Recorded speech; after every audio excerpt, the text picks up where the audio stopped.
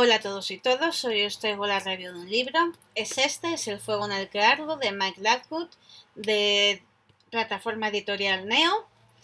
Cuesta 16,90.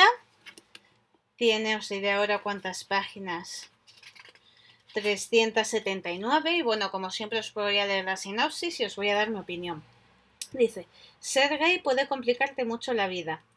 Todas esas películas y series que te cuentan lo maravilloso que es ser gay, estar rodeado de compañeros modernos en el instituto que te quieren como eres, padres que te apoyan incondicionalmente, todo mentira, la realidad no es esa. Al menos no la del protagonista de esta historia que vive un auténtico infierno por culpa de aquellos que no lo aceptan como es. Pero cuando las cosas se complican de verdad, conoce a un chico de ciudad con una visión del mundo completamente distinta. Con su ayuda deberá escoger entre dejarse consumir por las llamas de quienes lo odian o renacer de sus propias cenizas. Bueno, cabe decir que yo antes de leer este libro no había leído absolutamente ningún libro de temática LGTB, con lo cual mi punto de vista es un poco el punto de vista de una primeriza en este tema. Cabe decir que sabía que pasaban las cosas que cuenta este libro en algunos sitios, pero no en sitios tan avanzados como aparece aquí. Es un libro que me ha sorprendido para bien. Está muy muy bien construido, muy bien hilado todo. El personaje Oscar me ha encantado.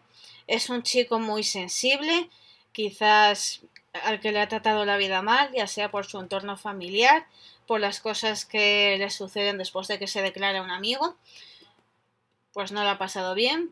Pero como siempre, todas las historias, siempre llega alguien que nos hace abrir los ojos, que nos hace estar mejor, que nos hace valernos por nosotros mismos y que estemos mejor. En este caso, yo os digo, yo he acabado el libro queriendo saber más de Oscar, que es el personaje principal, también de Sergio, que es el chico al que conoce y que le ayuda. Sé que el autor además está escribiendo un nuevo libro que se llama El hielo, no se sabe más y espero que sea por Dios la historia bien de o bien de Sergio, que es el chico del que se enamora, o el de Darío, que es el amigo al que se declara. Esto ya pasa al principio del libro, con lo cual tampoco se desvela mucho.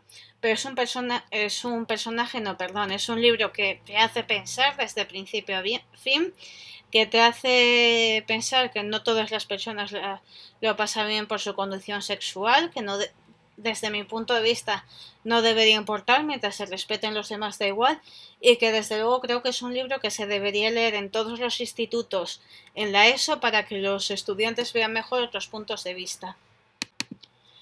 Y bueno, hasta aquí el vídeo de hoy. Como siempre espero que os haya gustado, que le deis a me gusta, suscribáis a mi canal y lo compartáis en todas vuestras redes sociales y muchísimas gracias por estar ahí.